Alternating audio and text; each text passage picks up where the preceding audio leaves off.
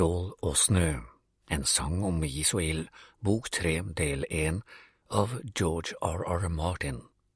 Det er Erik Grus Nilsen som leser.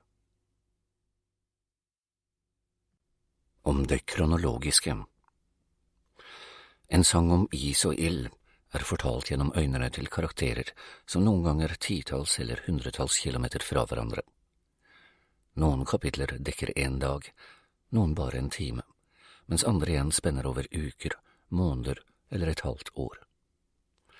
Med en slik struktur kan ikke fortellingen alltid komme kronologisk.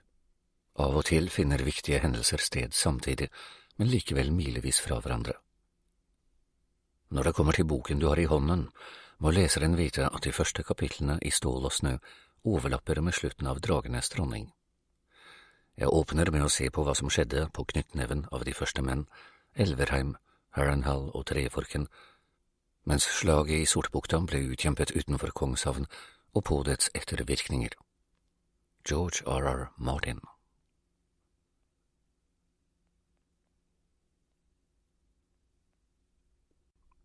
Prolog Dagen var grå og iskald, og hundene klarte ikke å følge sporet.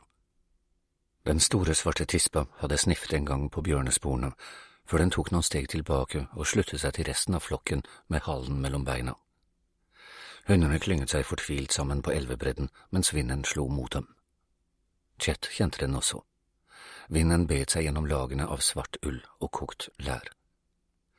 Det var for kaldt for både menn og dyr, men her var de.